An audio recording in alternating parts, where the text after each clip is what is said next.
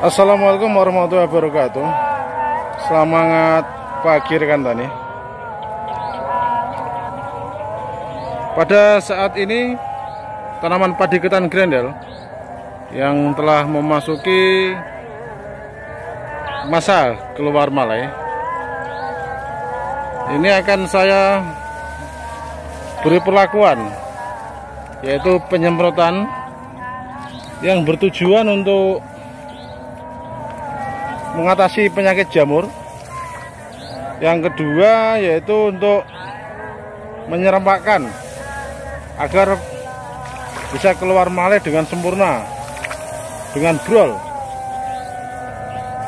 Oke sobat tani kita lanjut ke peracikan nutrisi. Ya adapun untuk nutrisi penyemprotan padi ketan saat muncul malai agar keluar serempak. Untuk amunisi pertama saya kasih fungisida fungisida amistartop saya kasih satu tutup.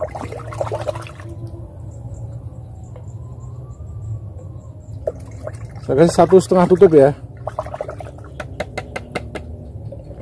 terus dilanjut lagi dengan pemberian MKP MKP ini saya kasih 4 sendok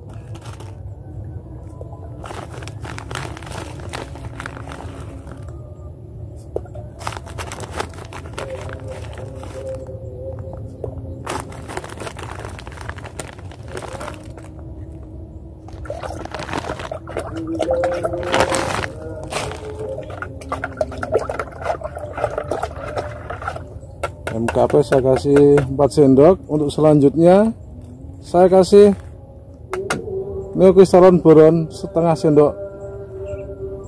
Atau satu sendok teh ya.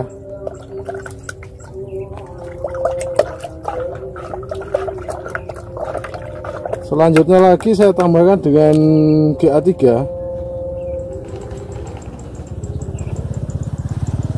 yang untuk saat ini saya masih menggunakan biges ya saya kasih 15 tetes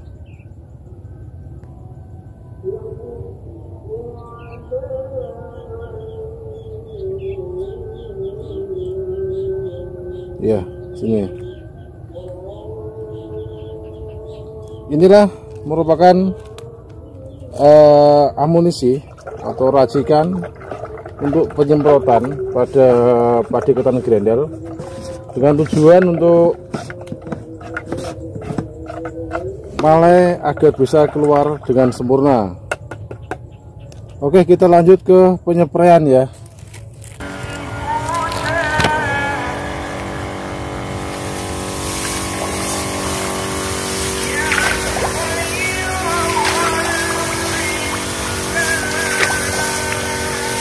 Ya semangat pagi rekan tani. Pada kesempatan kali ini saya melakukan Penyemprotan pada Tanaman padi ketan grendel Yang saat ini telah uh, Memasuki fase Bunting Atau fase mau keluarnya malai. Dan adapun tujuan dari penyemprotan kali ini yaitu untuk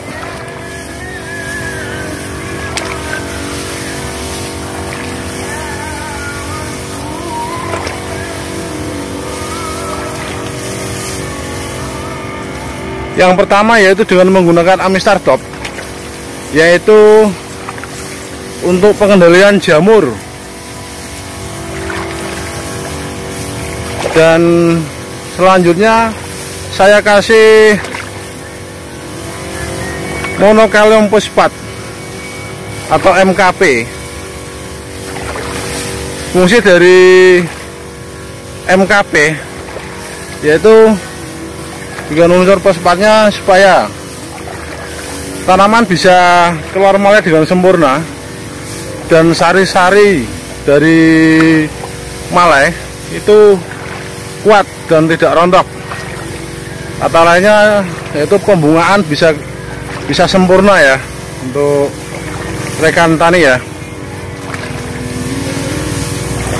Yang ketiga saya kasih kristalon boron.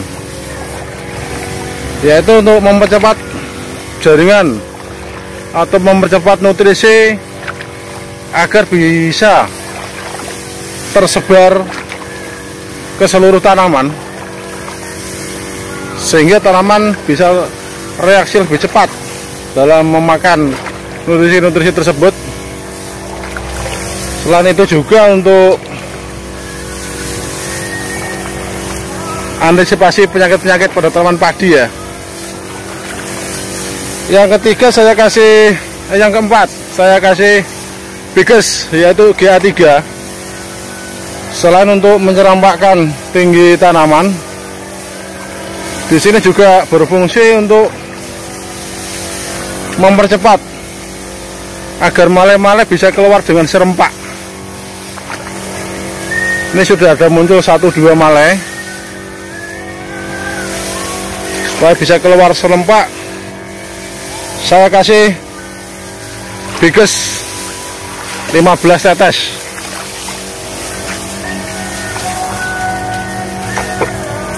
nah dari pinggir untuk tanaman padi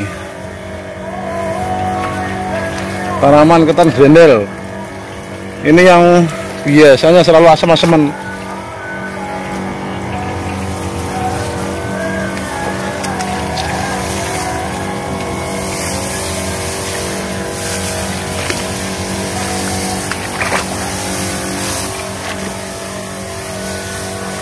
Oke cukup. Sekian dulu sobat tani. Dalam penyampaian saya untuk pemberian penyemprotan nutrisi saat padi mau keluar male atau saat berbunga agar male bisa keluar dengan serempak atau keluar dengan brol Oke. Salam sukses, salam tani. Wassalamualaikum warahmatullahi wabarakatuh.